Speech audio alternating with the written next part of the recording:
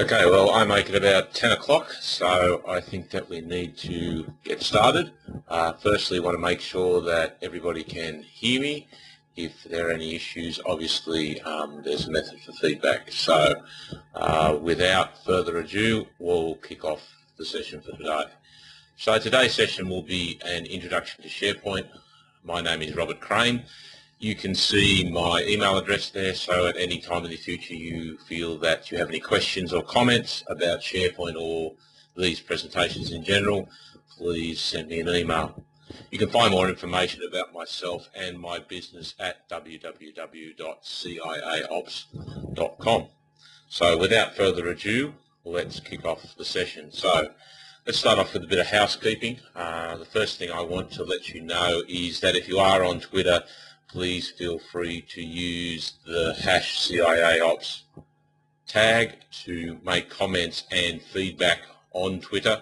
Um, it's probably going to be easier for me to work with something like that rather than use the feedback that is in live meeting. Um, I've got enough on my plate and haven't got enough hands, unfortunately, to cover everything. So if you can put any comments into Twitter using that hashtag, I will find them. If you do think that it's worthwhile following me, you'll find my Twitter handle at DirectorCIA. Okay, so what I'll do is that information about obtaining um, a resource guide which I've developed to go along with this presentation, that information will be available at the end of the session. Um, so stay tuned for that. So today's agenda, we will be having a look at what is SharePoint, the different SharePoint products, why you should be looking at SharePoint, the different SharePoint versions, because that's always very confusing for a lot of people. We'll have a basic overview of a SharePoint site, a quick run through, and then finish off with some conclusions. So many people ask me, why do we look at SharePoint as an option? So here's a, a couple of examples I believe are very important. Firstly, Microsoft, um, you can see, generates a huge amount of revenue from, um, from SharePoint. And as the New York Times here says, it's the hottest selling service-side product for the company ever. Another quote here from the New York Times talks about how it transcends open source and its ability to lock in customers to a complete Microsoft stack. And again, as we'll find in the presentation, SharePoint is used best when used with other Microsoft products.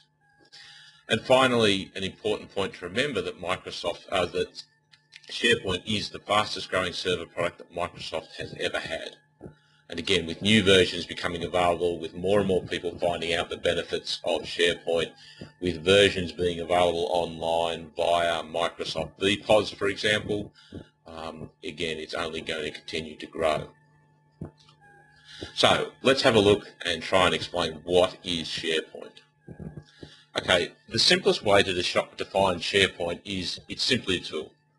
Unfortunately, I believe Microsoft and a whole lot of other people, especially coming from the enterprise level, tend to define SharePoint as a collaboration tool, a document management tool, all these most complex terms, which unfortunately to most clients is just gobbledygook. The easiest way to go and sell SharePoint or explain SharePoint to anybody is just to let them know it's a tool. It's an ad hoc tool like Word. It's an ad hoc tool like Excel. Okay, that's all it is. It's a one-word definition which helps them better understand what the product is. The bottom line is, is the reason I describe it as a tool is because customers want tools to solve their business problems. They don't want more technology. You stop and think about it, the most common application that is on every desktop is probably a word processor and a spreadsheet. And in most cases, this will be a Microsoft product. So again, to help people understand the benefit of SharePoint and to avoid confusing them, again, it's best to describe it as a tool because they already understand software tools. They already understand what benefits things like Excel and Word bring to their environment. They're not looking for something that's complex that's going to take them months and months to learn. They want something that they can get up to speed and run with really quickly. So again, that's why defining SharePoint as a tool is the most effective strategy. Okay, so there are two versions of SharePoint. Firstly, there is one, something called Windows SharePoint Services, which is commonly referred to as WSS.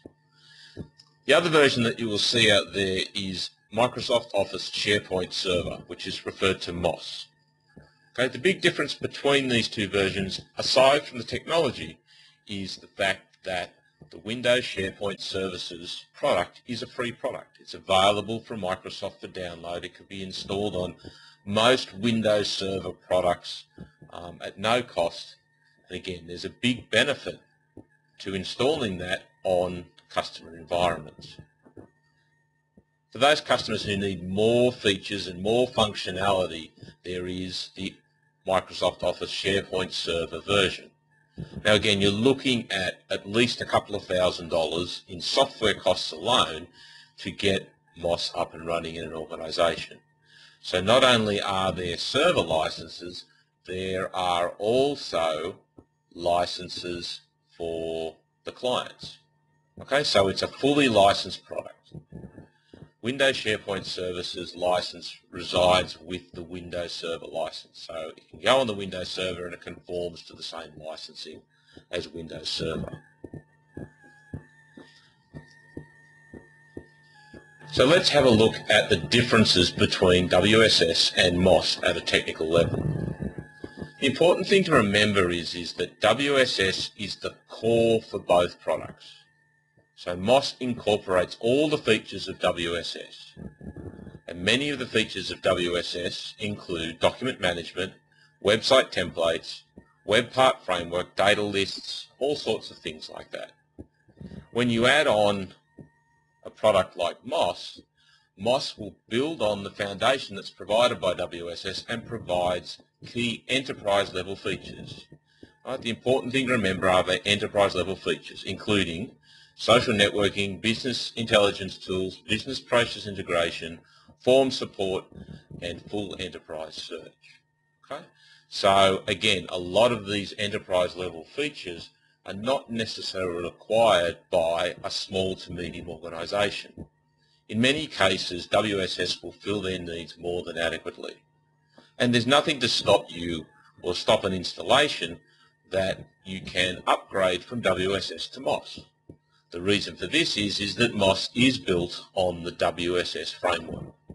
So again, one is simply an enterprise level version of the other. And again, what we will focus on here, what I'm going to focus on is WSS, Windows SharePoint Services, because that's more relevant to the SMB level market.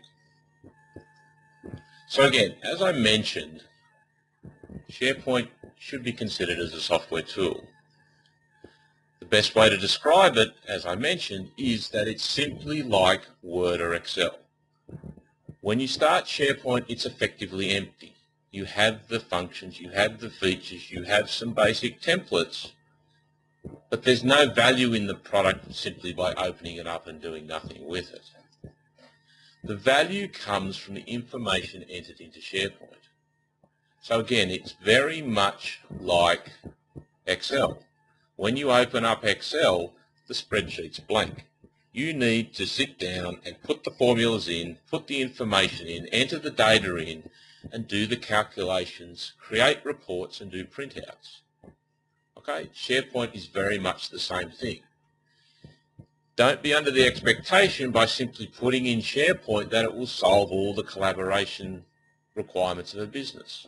No, it just provides a platform on which these sort of functions can take place. Again, the value is in the information entered into it, and somebody needs to enter that information into SharePoint. Again, you can access SharePoint using only a browser. This is one of its most powerful features. So again, you can have a desktop or a mobile phone or access from an internet cafe only via a browser. So you can interact, you can add information, you can update using a browser only.